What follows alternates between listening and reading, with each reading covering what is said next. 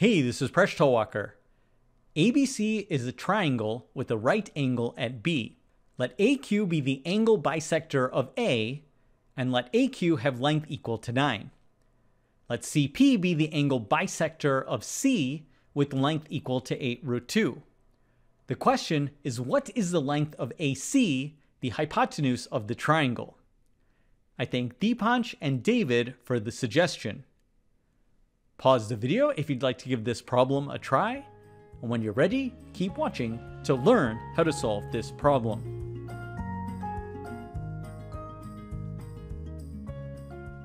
This is an extremely challenging problem, and I admit I wasn't able to solve it. I posted it on Twitter for help, and I want to thank everyone who replied. In particular, I want to thank Ridoy and Peter Lee, who sent a trigonometric solution, which I will present in this video. To get started, let BAQ be equal to theta. Then since we have an angle bisector, QAC is also equal to theta.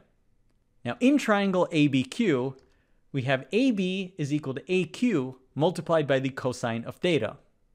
Now we know AQ is equal to 9, so AB is equal to 9 cosine theta.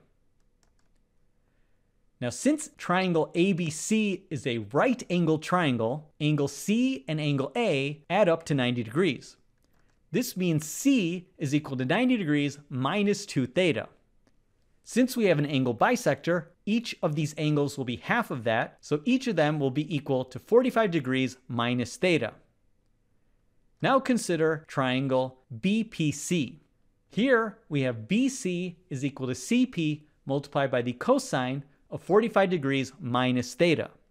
We know the length of CP is equal to 8 root 2. We can then use the cosine formula for the difference of angles. We now evaluate cosine of 45 degrees is equal to sine of 45 degrees is equal to 1 divided by root 2. We put that in and then we distribute, so we get BC is equal to 8 cosine theta plus 8 sine theta. Now let's consider the entire triangle ABC. BC divided by AB is equal to the tangent of 2 theta. We can then use the double angle formula to get that this is equal to 2 tangent theta divided by 1 minus tangent squared theta. So let's just look at these equations. From the equations for BC and AB, let's take BC divided by AB. We can then divide through by 9 cosine theta, so we get that BC divided by AB is equal to 8 ninths tangent theta plus 8 over 9.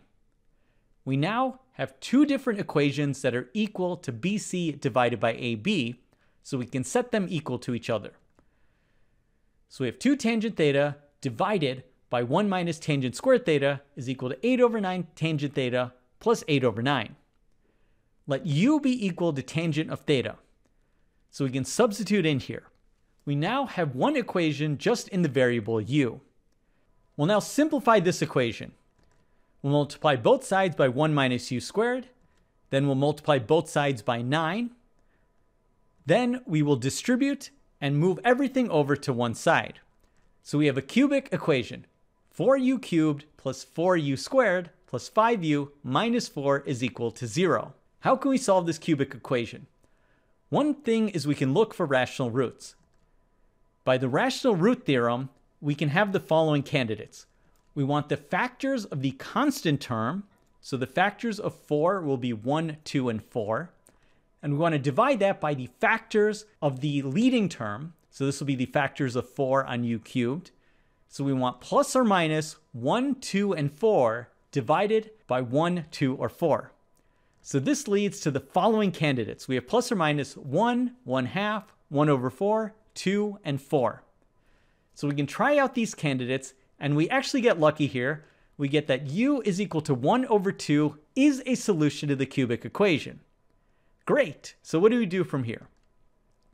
So we know that u minus 1 over 2 is a factor of the cubic equation. So we can do polynomial division. And this is equal to a quadratic equation 4u squared plus 6u plus 8. We now factor this cubic equation. One factor is u minus 1 half. The other factor is the quadratic equation. So from the first factor, we have the root 1 over 2. we can use the quadratic formula to get the roots of the quadratic equation. They end up being complex roots. Now, since u is equal to tangent theta, we want to limit this to u equaling 1 half. So we'll get rid of these extraneous roots. So we figured out that u is equal to 1 half. This is equal to tangent of theta. Let's now solve for cosine theta and sine theta. So let's set up a triangle where theta is here. We have 1 over 2, which is equal to the tangent of theta. This means the hypotenuse is the square root of 1 squared plus 2 squared, which is equal to square root of 5.